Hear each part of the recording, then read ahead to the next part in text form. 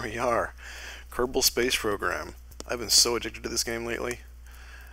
Yeah, uh, so I decided to take on one of the hardest missions, which is to put a lander on Eve. Now, Eve is uh, kind of a ridiculous place. It's got a very thick atmosphere and uh, a lot of gravity, big gravity well to uh, to deal with. So to put something down and get back off, you need something really big. And this is this is safe to say is the biggest thing I have ever built. Here you can see it's uh, we've got quite a few boosters. I think there's 13 stacks all the way around. Um, actually, no, it's probably an even number, wouldn't it be? Uh, 16. 16 stacks going around. Uh, neat thing about this design is that all of the rockets fire at once. See, I've got a nice rover here on top to land on the planet. Little lander can. Got our science. I mean, we're gonna we're gonna do the whole thing here.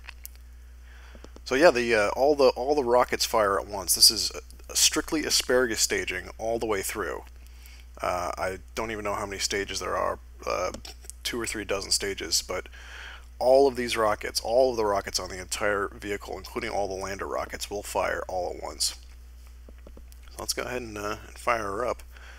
It's got an insane amount of delta V. You need about, oh, I don't know, around 7,000 delta V just to get off of Eve. Um, probably more if you want to go down to um, sea level. Speed things up here a little bit so we get to a daytime launch.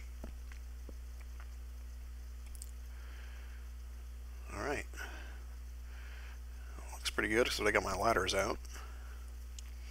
Pop those back in real quick. Alright.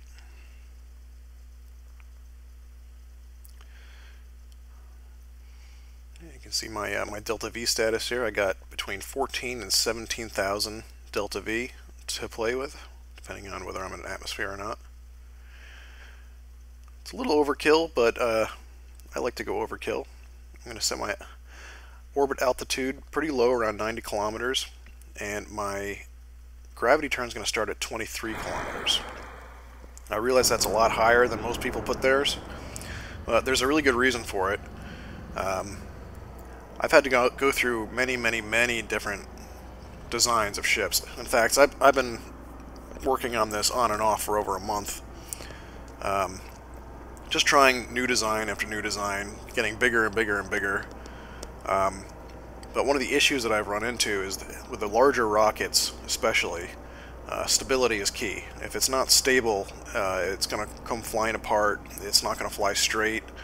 Um, you'll notice that it's very symmetrical. That's uh, so that I don't have to overload it with all these different control modules to try and keep it straight. Um, really the whole thing is designed that as it comes apart here, everything stays symmetrical, the thrust stays symmetrical so it doesn't start spinning off into oblivion.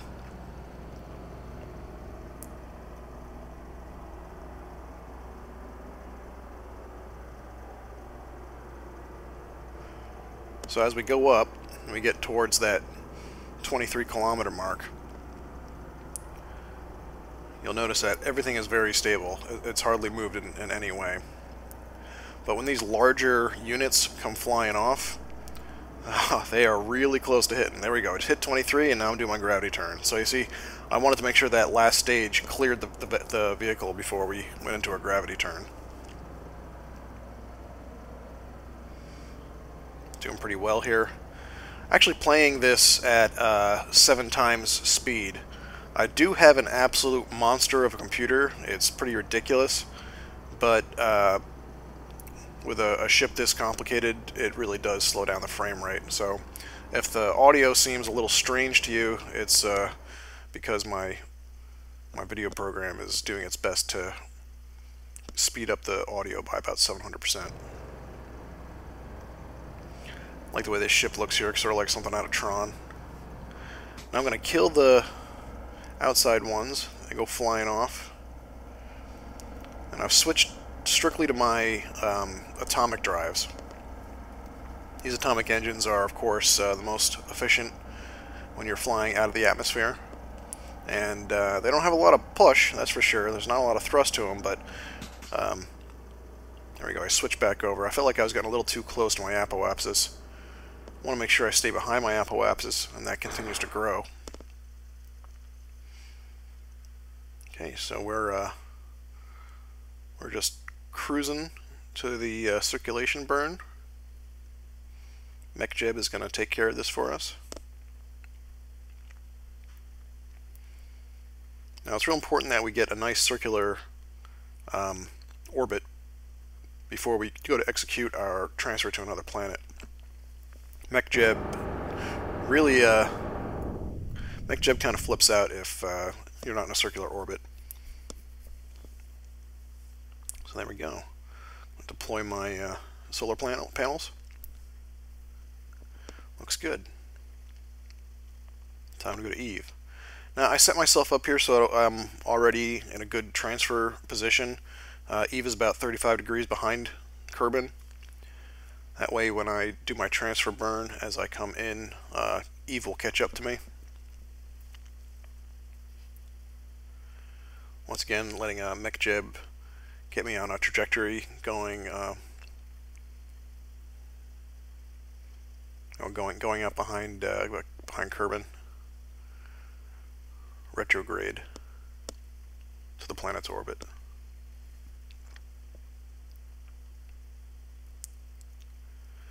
Now this is going to be a hell of a burn. Um, uh, loud. I think it's like a 12 minute burn. I mean, even running at 600% is it's just going to take way too long to watch this go on. So uh, I'm going to go ahead and uh, and skip ahead a little bit here to uh, to where we're starting to get to our escape velocity. Okay. This uh,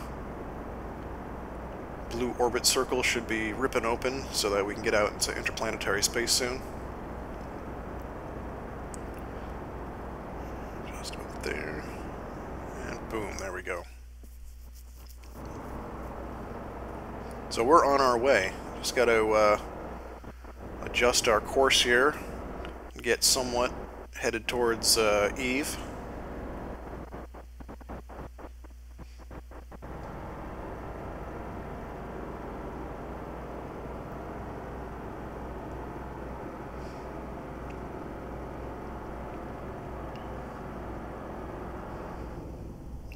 Even with MechJeb, I didn't quite get to where I needed to be. But that's alright. Um, usually you got to do some sort of uh, a correction burn once you get out into interplanetary space. So uh, I'll leave uh, the influence of Kerbin and set up a new node. And adjust my close approach.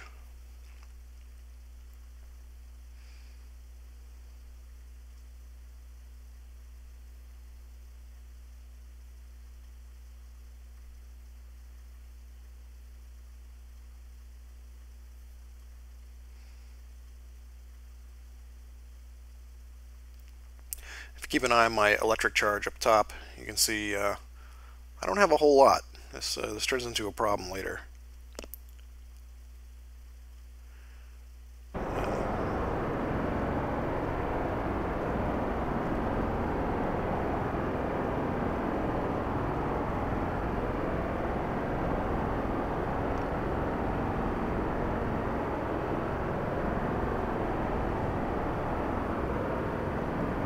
Can see my orbit just changed to purple. It means I'm in the influence of Eve.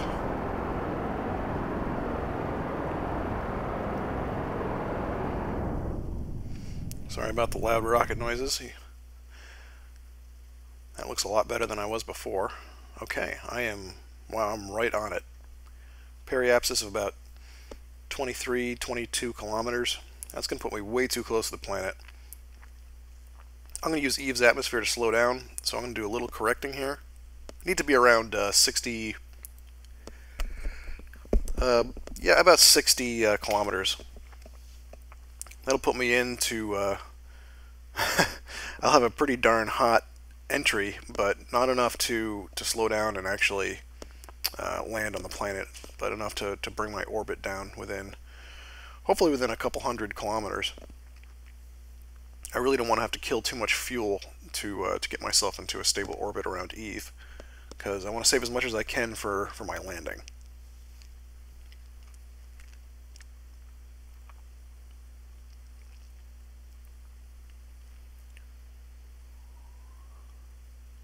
Once again, I get MechJeb to take care of my maneuver for me.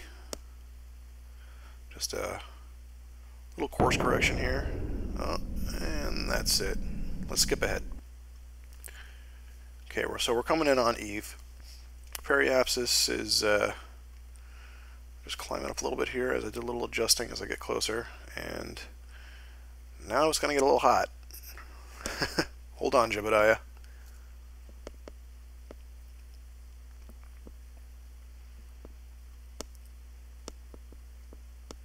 I love these sequences in the game. It's one of the cooler things in uh, KSP.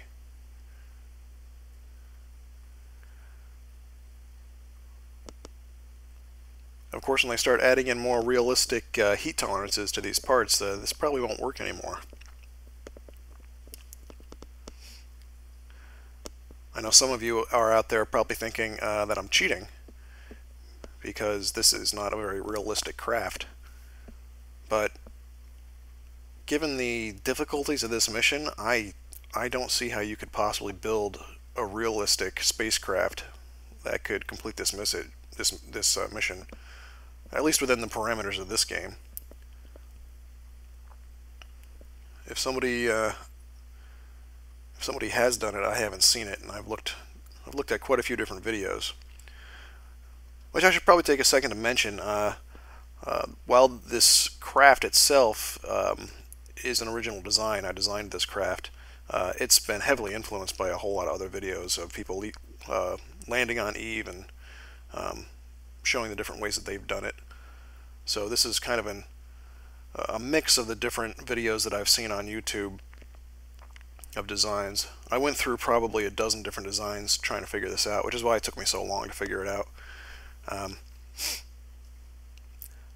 but credit must go out to a couple of different YouTubers for their designs. Uh, if you're looking for more in-depth on uh, a how-to to do this message, uh, this mission, uh, I suggest uh, looking around. There's some other uh, there's some other YouTubers that have some some very in-depth, very long videos. One of my goals here was to actually to get this whole sequence down under 30 minutes. considering that this mission took about 10 hours of actual game time. Uh, 30 minutes is pretty generous.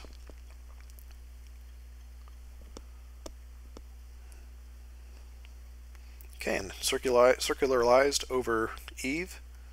I'm going to release my probe here. And this is important because uh, when you're trying to land such a large lander, you need a really nice landing spot. Um, I wanted my landing spot to have two, two, two things. Uh, it must have be pretty flat because um, once this thing lands, if it lands at an angle, it's almost impossible to get such a heavy lander oriented coming coming off the ground. Um, and the second is I wanted it to have uh, quite a bit of altitude, so uh, I was looking for a spot that was pretty darn high up. I used some uh, maps I found online uh, in the wiki. I think I found, well, what, what they claim to be the highest point. Luckily, it's not too sharp of a peak, but it is a mountaintop. It's got a flat area to it. So if, if not the highest point, one of the highest points on the planet is where I'm aiming for. And, and that's just simply to give myself an advantage. I mean, uh, it, it doesn't really make a difference to me whether I land closer to sea level or not. I realize that it's more of a challenge to, to land at sea level, but after a month of trying to figure this out, uh, I'm going to be happy with just landing on a, a mountaintop. Here we go, coming in. You can actually see the mountain.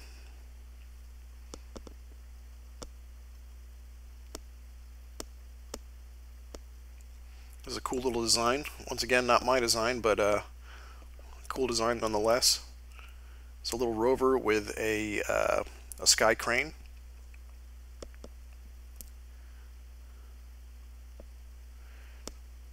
Designed to come flying in. gently drop the rover on the ground and then fly off if all goes well.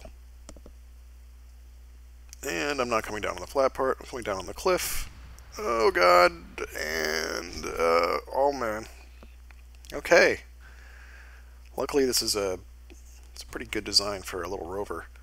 Practically impossible to flip over, and even if you do, it's got a gyro in it so you can flip it back over on its wheels. I'm going to speed this up to about 20 times speed because this is a slow rover.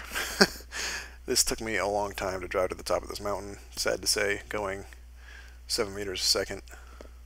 And it's a big mountain. So I skip ahead here. Coming up to the, the summit. Uh, nice and flat. Well, mostly flat. I landed on worse. I think this is going to work pretty well. If I can, uh, if I can get my lander to land right here, I should be able to take off and not take too much delta V to get back into orbit.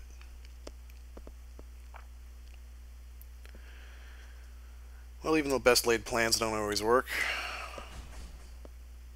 it's my one of my first attempts to land my lander.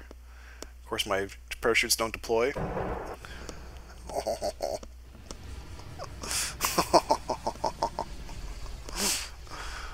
uh, and look, Jebediah, he survives. Except now he's stranded. If you look in your upper right, my electric charge is the issue here. I did not plan enough energy creation or energy storage, so now I'm just kind of adrift. Problem is that I, I run out of juice and I can't do my correction burns correct on time.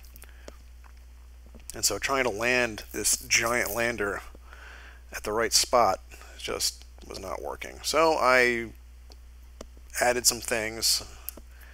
I added some uh, solar panels there and a little bit more um, control modules and some batteries. And now we're here with Bill, Bill Kerman. So yes, I, I redid the whole mission, and uh,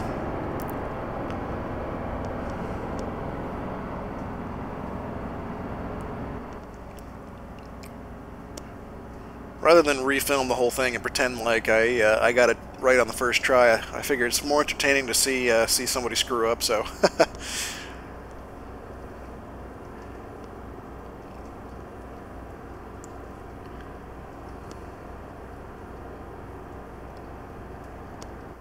So here I come for the, I've lost count of how many times trying. And MechJeb is flipping its shit. I have no idea why it's doing that. Alright.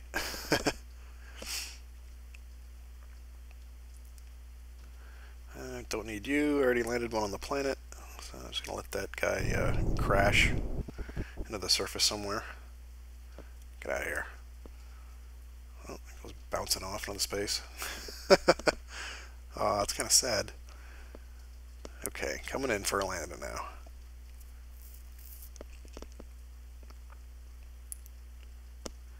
I'm not going to retract those solar panels. I'm not going to need them anyway. I'm going to I'm going to hold on to those large boosters for as long as I can. Get right down near the surface, burning up as much fuel as I can out of them. And then release them and hopefully do uh, do a very short burst to get the lander on the ground and not use up too much fuel.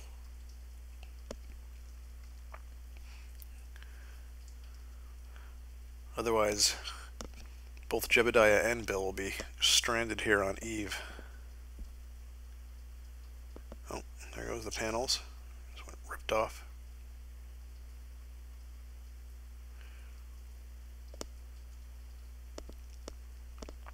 Got my drogue chutes out. So here I actually uh, bring it back down. This is the only part of the video where I'm actually going to play it in um, real time. So this is how I experienced this entire mission. Excruciating slow frame rate. But this is probably one of the more exciting parts of the mission, so I figured I'd slow it down a little bit and let you see what it actually looks like. Let you see what it actually looks like to land a lander that has 800 parts.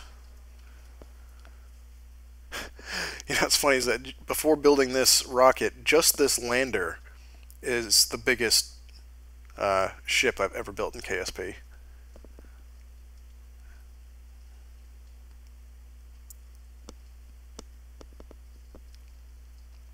Okay, I'm going to jump back up to uh, three times speed here.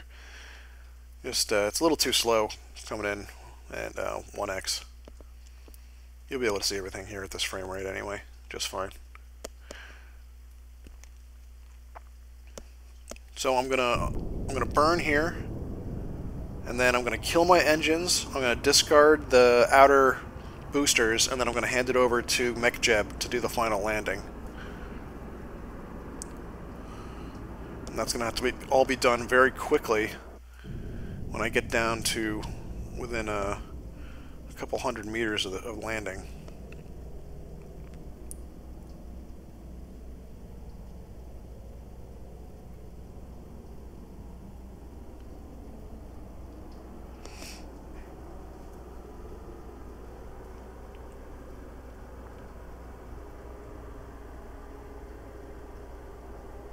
You can see my rover there. There's my shadow coming in.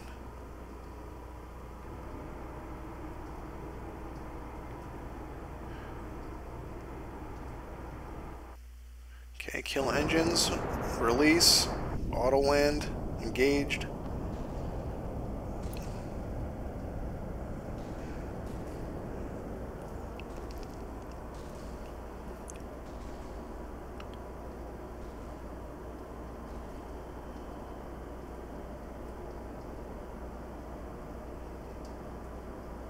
There goes my chutes. Going in.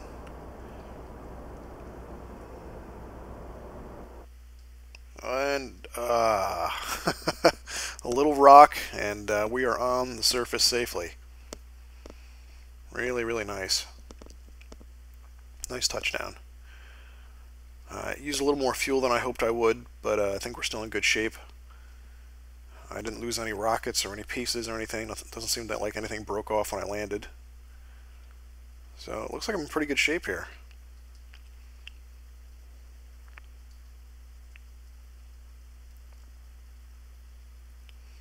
Out and see, the, see what we look like on this mountaintop. Hmm.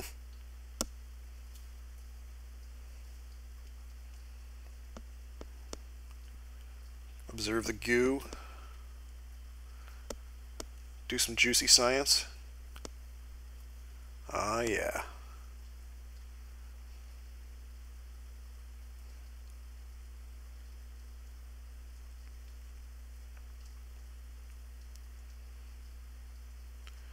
All right, let's uh, let's get Bill out of this thing. Lower my lower my ladders. Here he comes. A little bit of a tight fit getting down out of here. And actually, once I got here, I realized that it was kind of a maze trying to get out from underneath this thing, and so I, I kind of I kind of bitched out here. I, I just said, you know what, forget it. I'm just gonna I'm just gonna do my science here. Um, plant a flag with a mine. Science, bitches. Yes, awesome. Um, although he never really took a foot off the ladder, he he's still very confident.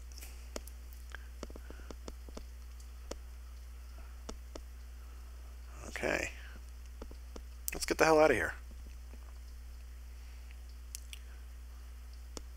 I set my turn, my gravity turn for pretty darn high, up, up around 40 kilometers, just because I, I want to make sure I get out of the, the gravity well and out of Eve's atmosphere before I try and turn and start picking up lateral velocity. Do some quick science here.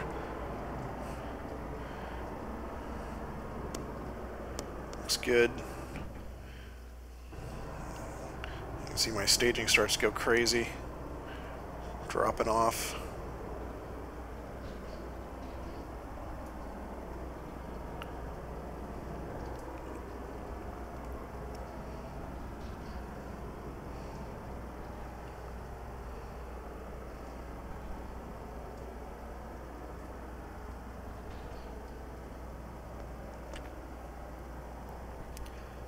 yeah, my thrust to, to weight ratio leaves something to be desired, but it's good enough.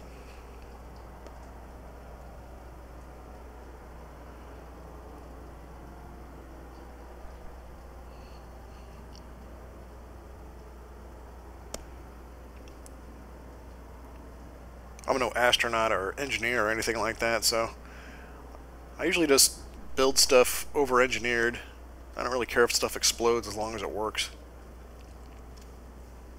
Anybody that knows me knows that uh, I'm not the most patient individual. We're starting to clear the atmosphere here, which is nice. Once we get up above uh, 80 to 90 kilometers, we're pretty much in uh, the vacuum of space.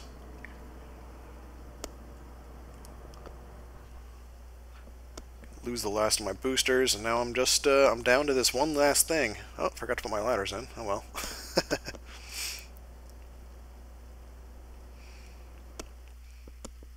but we should be good now.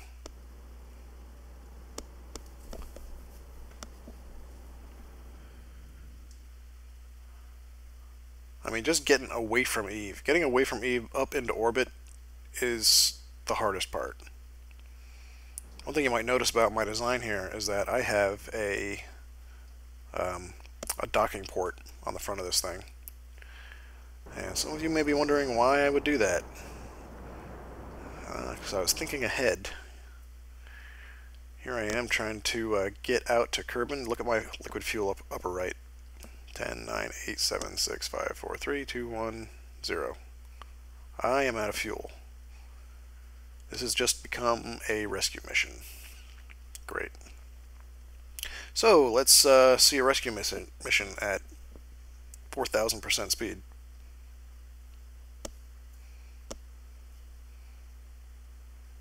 Okay. Got a robotic gas can. Interplanetary robotic gas, gas can.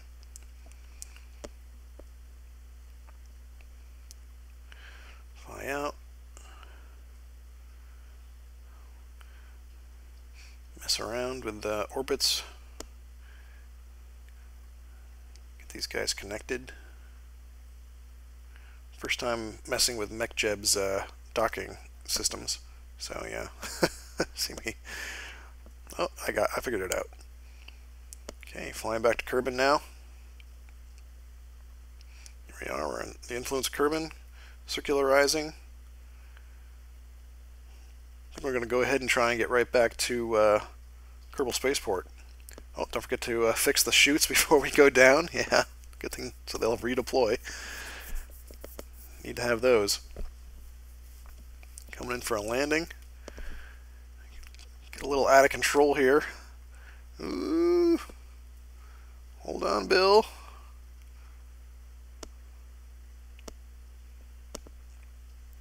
Coming on down. Oh, look at my liquid fuel running out. Look at this. 40, 30, 20, 10, and it cuts out, oh, just enough. Perfection. Look at all that science. Cover my vessel here. We did it. 1665 science. That'll do her. Alright guys, I, uh, I hope you liked my trip to even back. It was tough. It took me a long time to figure out, but uh, yeah. Thanks for watching.